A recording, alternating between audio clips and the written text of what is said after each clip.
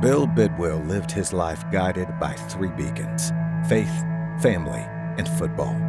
Much of that foundation was formed at Georgetown Prep in suburban Washington, D.C.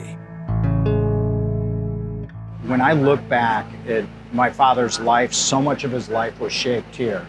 He came here right after his father passed away. His brother was going to Georgetown University. He had a, a, a special connection with this place.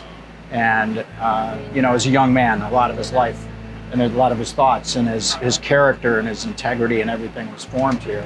History came full circle prior to the opener against the Washington Commanders as the Cardinals conducted their final practice before kicking off the season on the campus of Georgetown Prep in William V. Bidwill Stadium, named for the late Cardinals owner. To roll through the gates with the team, I know he's looking down from above and uh, excited about this. It's, it's just really a special day and a special moment. For everyone in my family, we're all here. It's exciting to be here. Thanks, Father. How are you? Thank you for the hospital. Great to Great see you. to too. see you. Thank you. We got young Morgan here, Nicole, Timothy. Bill's sons, Michael, Patrick, and Tim, attended the school as well. Remember Father Van Dyke, Morgan? Last fall, Michael returned to help dedicate the new stadium funded by the Bidwill family. I know today he's smiling down, loving what Prep has built here, and I know he is very honored to have his name on this building. Bidwill graduated in 1949, helping the football team to an undefeated 1948 season as a fullback and kicker. Six foot, 200 pounds. He could run the ball. He was also just a remarkable guy, a remarkable contributor, but also a remarkable so- supporter and booster of the school in so many ways.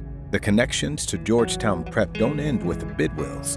Team scout Andrew Kaskin was a star player for Prep's football team. It's a cool full circle moment. Returning with the team he now works for was especially meaningful for the 2014 graduate. To come back here, I, I rooted for Washington my whole life. I watched every game since I was six with my dad.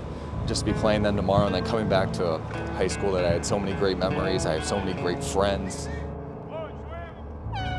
Great place. You know, there's a lot of good traditions here, and uh, we appreciate them letting us come out and do our mock game today. First time there's a pro team here at Prep to be on the same field as the Hoyas. I think it's pretty cool, and uh, you know the kids will have a lot to talk about. Colin Michael Bidwill, absolutely. It's special that it's the Cardinals. It's special that it's on uh, the field, the stadium named after my father.